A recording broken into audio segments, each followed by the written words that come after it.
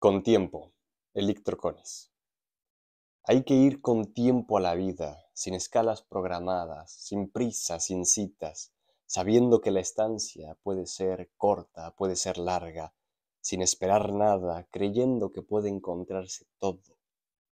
Hay que tomarse el tiempo en la vida como se toma un té, como se toma un consejo, como se toma una mano. Hay que sentarnos a veces como aguardando un milagro hay que correr en otras como detrás de un tren. Hay que ir con tiempo a la vida, como a la casa de los abuelos, porque puede ella sentarse a un lado y abrir los álbumes de fotos, o bien puede retirarse a la cama, sola, a dormir la siesta.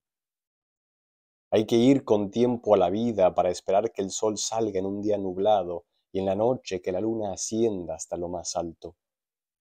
Hay que ir con tiempo a la vida para detenernos ante las sorpresas, contemplarlas y amarlas, para darle su tiempo a cada persona, a cada arco iris, a cada flor, a cada pétalo infinito.